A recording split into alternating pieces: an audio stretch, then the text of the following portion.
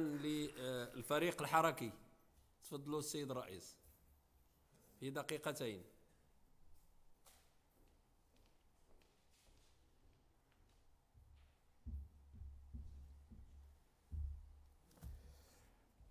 السيد الرئيس السيدات والسادة النواب محترمين السيدات والسيدين الوزيرين.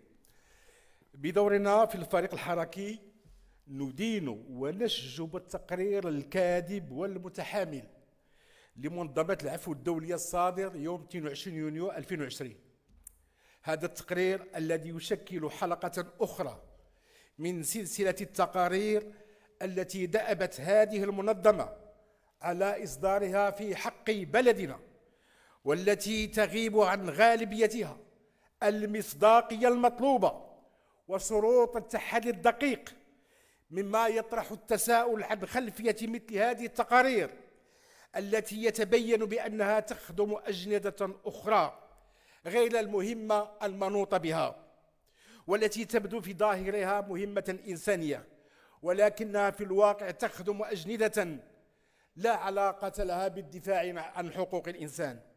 في هذا السياق لا يسعنا إلا أن نتمن البلاغ الذي أصدرته الحكومة المغربية والتي طلبت بكل الموضوعية المطلوبة في مثل هذه المواقف. تقديم هذه المنظمة للحجج والأدلة المفترضة التي اعتمدتها في هذا التقرير المتحامل وما تضمنه من اتهامات خطيرة ومغرضة ضد المملكة المغربية. لا سيما فيما يتعلق بادعائها أن صحفيا مغربيا كان ضحية عملية تجسس من طرف السلطات المغربية من خلال تعرض هاتفه لهجمات متعددة باستخدام تقنية متطورة لشركة أجنبية.